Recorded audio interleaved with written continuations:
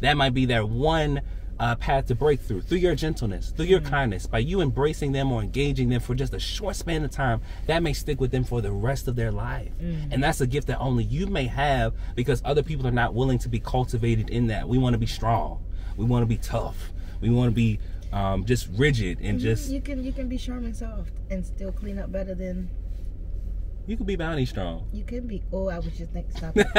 I literally was y'all. I was literally thinking like, oh, stop. That's the. Amen, Jesus. Oh, get out, my mind. Really? Get out. I mean, it's got get out. But no, seriously, you can literally. God allows us to be bounty strong, Yes. or we absorb. Mm. This is He's equipped us Yes. to handle mess. When you walk with him and you talk with him Yes. And you digest his word, that's how you're able to absorb. And I don't mean take it in and carry it, but you're able to absorb someone else's mess that they don't know how to clean up. Yes. Amen. And the thing that I love about it is the one thing you may have capacity to absorb other people's burdens and their issues and their things, and you may be anointed to help them clean up. Uh-huh. However, their on. Uh-huh. mess does not become a part of your makeup. Nope. I say again. You see, your Their mess, does not become, a part, of, your, makeup. makeup. Because the same way that we can use bounty and we can use those strong paper towels for more than one instance, don't we can them. wring them out Yep, and reuse. and reuse them. So whatever dirt, whatever filth, Mm. whatever um, things that are trying to pollute you or corrupt you because it's just on you, Mm-hmm. it is not defiling you and who you are. Because that paper towel is still strong and it can still It handle. mentioned some things. It done cleaned up some messes. It has. It It, done been wrung out. it has history. And it's not and it's My daddy, my daddy, my daddy, my daddy. your baby. Your baby is talking. Listen. Yeah, that's that was on time. It sure was. God, thank you for being here. For the rest For the rest of eternity, you guys. That's crazy. daddy, my daddy. But it's but he's telling us we You see this? Yo, that's insane. how some we soul to come on at the right time? My like, daddy, my my daddy. daddy has equipped me. He has equipped us. like everything that you need, everything you feel like you're not equipped for, like he's giving it to you. He's made you this way. Like you should rejoice in that. You should rejoice in your weakness. Rejoice in your softness because God can make you firm. We are sons and daughters of the most high God. I've been saying this for the past month, but being his child, being his child means that he has accepted us Yes. and that we can rejoice Mm. in his peculiar care and protection. It's peculiar, y'all, and I'm okay with it. Wow. Say it one more time. we are acceptable to him. That means he has looked at our entire span of life from when we were formless to when we shall become formless again. He has looked at all of it, all of it, and said, "Mhm, mhm, I like it. I'm going to sign on the dotted line. I sign. Where do I sign? Where do I sign? And then, because he has called us his own, we can rejoice. What does rejoice mean? It made you could celebrate. You could It's praise. a party. We can Be rejoice thankful. in his peculiar care. In his peculiar care and protection. That's so beautiful. And even as you were talking, it's like I, there's an analogy that's come to me, and it's just like even like when we see those new parents in the hospital, and they say your baby was diagnosed with such and such and such and such and such and such, and we may have to keep them a little bit longer. Mm-hmm. That does not stop them from signing the birth certificate. No. That does not stop their pursuit of trying to bring them back home. Mm-hmm. And God, knowing their defects, knowing what issues they may struggle with, Yeah. being diagnosed with whatever the problem may be, they still choose to love this child that they've created and that God has given them.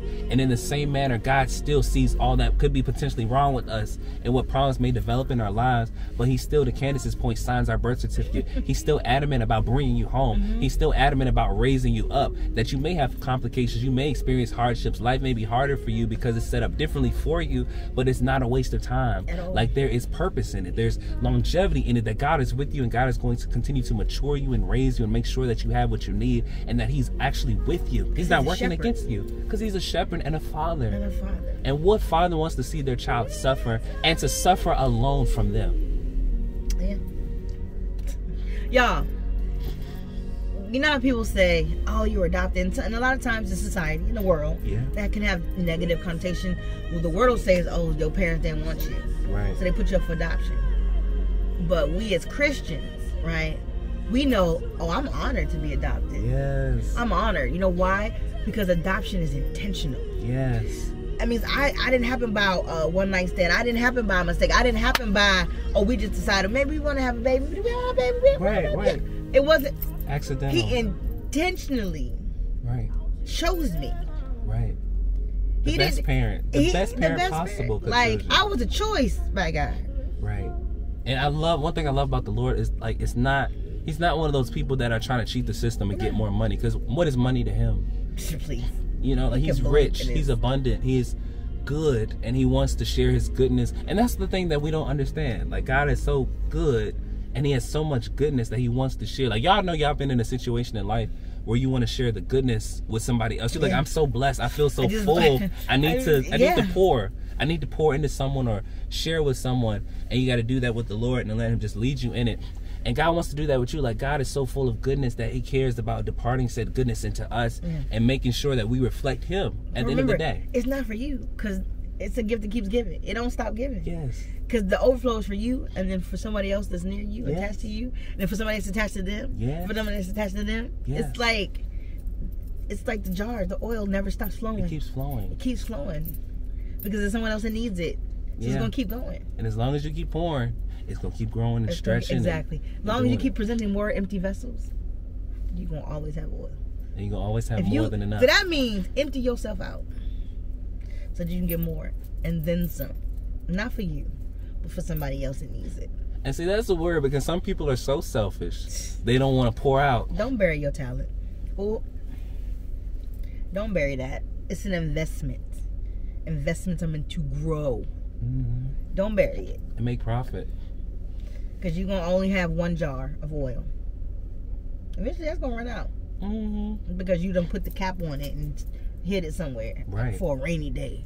With God, there is no rainy day. He always has an abundance of resources for us. Right. And there's so much that God has deposited, and you know it's good. It's so much God has deposited in you that other people need. And you don't see it, and you may not. You may be wondering, like, why am I not experiencing growth and just in my life in general? And it could be, it could be non-sin related. Yeah. It could be because you're not willing to be submissive and to give and pour into other people and to invest. Because the Bible also says, "Don't grow weary in well doing." We have to, um, we have to sow so we can reap. And oftentimes, you have to give it to receive it. That part. So it may not be. You might be like, I need, I need money myself. I don't have it to give. Give and let God take care of you. Give and it will come back to you.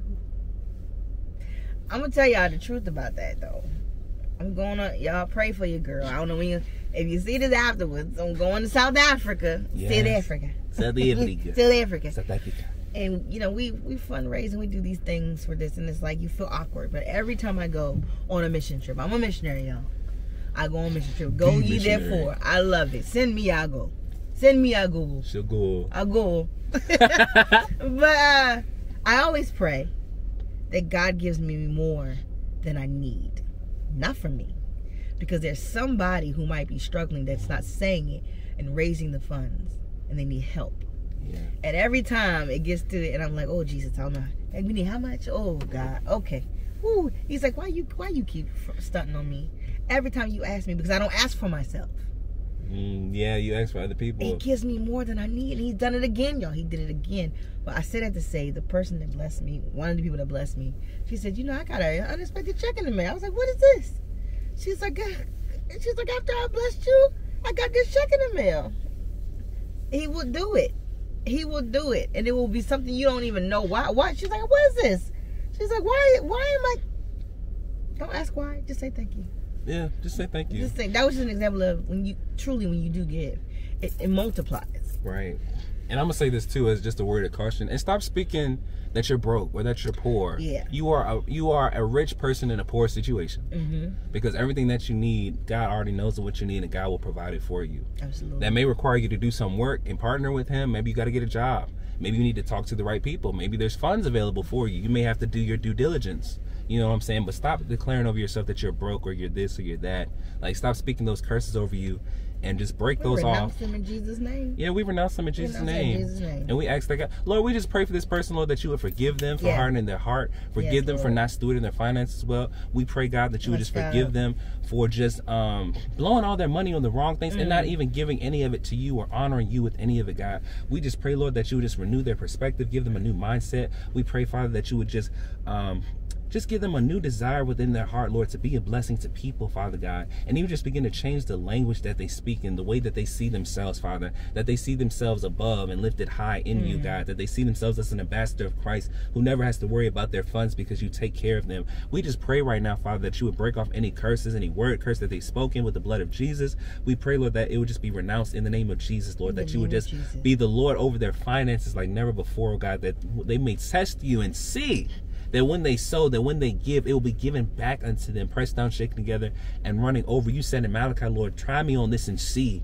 We pray, Lord, that they would test you on it and see that you will open up a window Yes, of heaven Lord. and pour them such a blessing that they don't have room enough to receive it. So much so that it will renew their confidence that they will be a tither, that they will be a sower, that they will have no problem sowing alms to the poor, Father God. And they won't have no problem giving to people who are in need because they remember when they give unto your people, you give back to them. Hallelujah. Thank you, Jesus. So good. Ooh, Thank you, Jesus, Father God. amen. Thank you. God. Oh, Yeah. yeah. yeah. Ooh. So God good. is so good. yes. God is so good. Yeah. Yeah. God is so good. He's so good to me. Hey, Hey. that felt like a uh, what's that? You made that up? No. Okay, I'm saying it feels like a, a, a African. He's so good and his mercy is forever. Hallelujah. There you go. Yep, I'm like it feels like that. Yeah. Uh, uh, uh, uh, uh, uh, You're too good and your mercy is forever. Hallelujah. Hey. Hey, you are the what is it? Most high God. Mm, Oh, no, we jamming, y'all. But he is good. He's so good. He's so good. Oh, Jehovah, hey, Jehovah, Yeah. Hey, Yeah. hey, hey, Jehovah. Jehovah, Jehovah, Jehovah, hey. Jehovah. Ah. We are going right. Yeah, that's you know. that's Jehovah, you are the most high. You are the most high God, Jehovah. You are the Hey. High. He is. You are the most high God. Come on. See what I'm saying? It'll pop you right in your vocal cord.